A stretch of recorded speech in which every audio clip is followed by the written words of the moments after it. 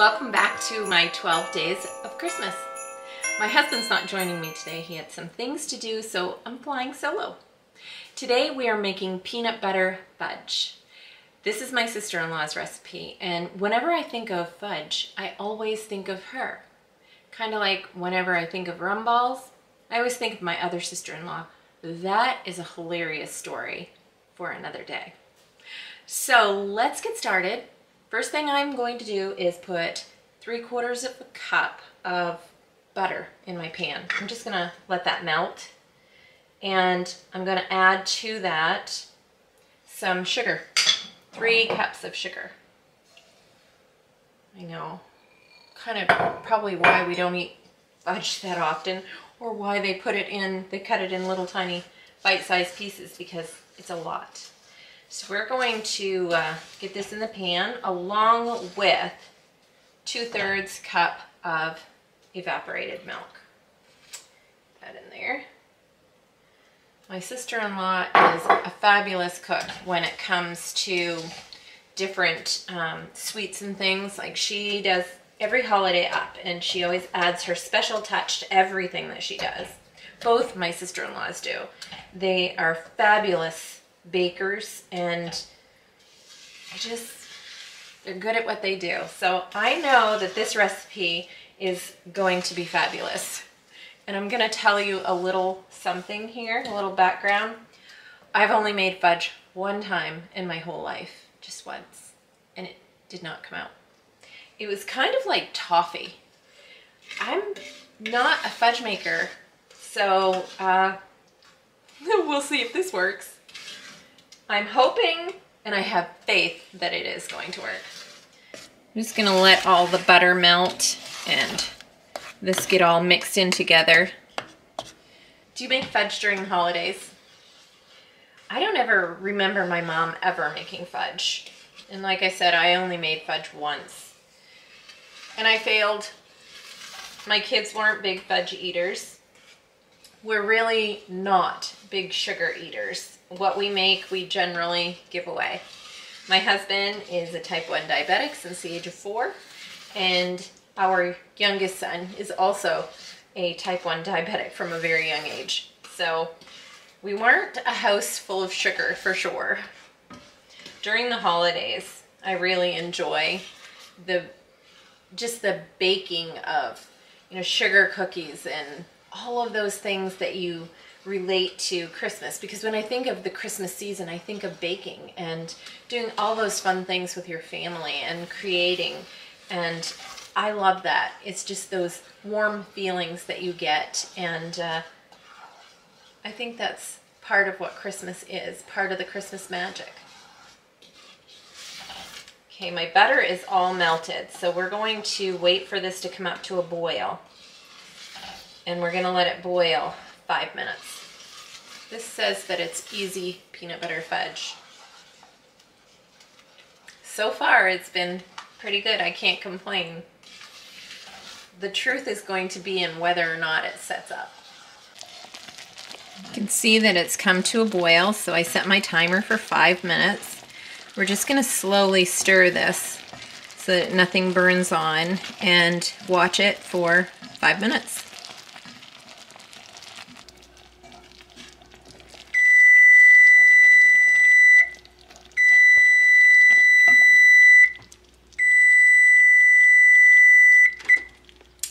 Okay, there we go. I'm to turn the heat off and remove my pan from that burner. And we're going to add our other ingredients. First, we're going to add some peanut butter, and this is crunchy peanut butter, one cup.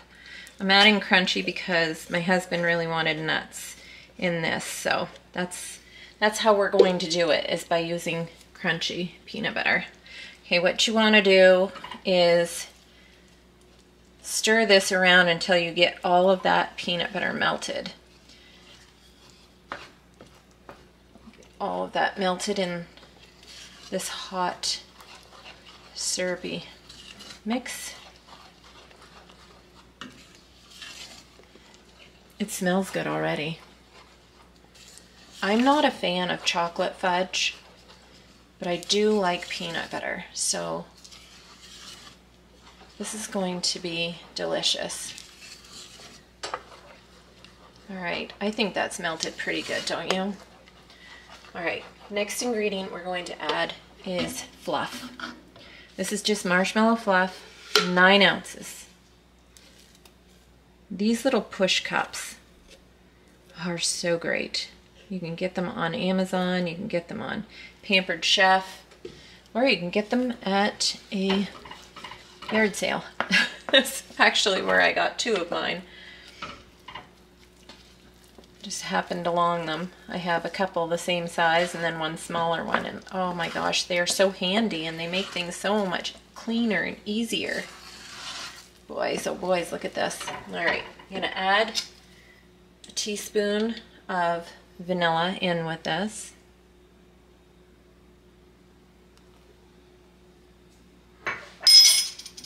Let's get this stirred up. Now, get this all mixed in really, really well. Get all these ingredients mixed in.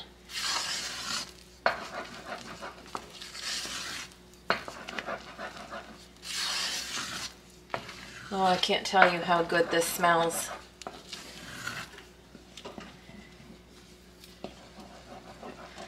In the comment section below, I would love to hear, are you a peanut butter fudge fan or are you a chocolate fudge fan? Or maybe you're both. I'd love to hear about it. Now we're gonna get this into a 9 by 13 parchment lined pan.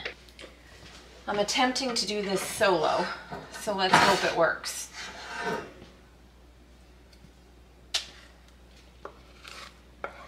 This is a cast iron pan and I'm telling you, it's challenging me right now because it's extremely heavy.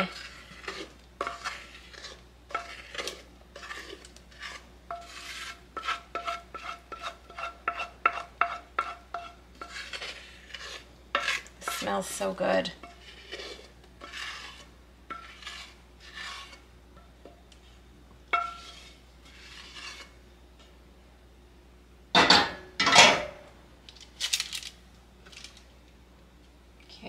Smooth this right out. Doesn't that look good? I can't believe that. I mean, this looks like real fudge. I've never had fudge look like real fudge before. I do a lot of things, but I, I have to say that I'm pretty, I'm, I'm not very good at doing things I'm not good at. Does that make sense?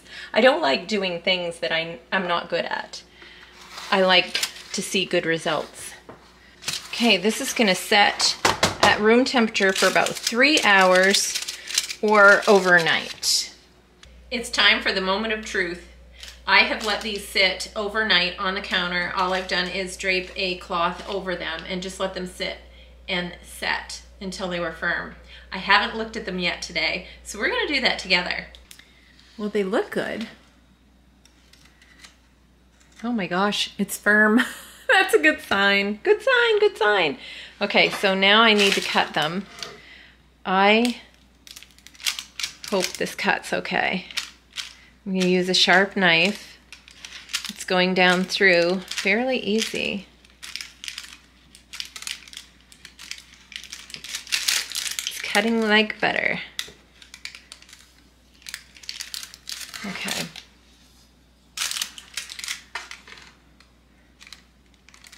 Should take this out of the pan. Let me take this out of the pan so you can see a little bit better. And this is the reason why I like using parchment because it's much easier to, to cut it and, and remove it from the pan. You're not having to deal with anything sticking to it. Okay, so here's, here's the first piece. So we need to try this. It's way too early in the morning for this, but somebody has to do this.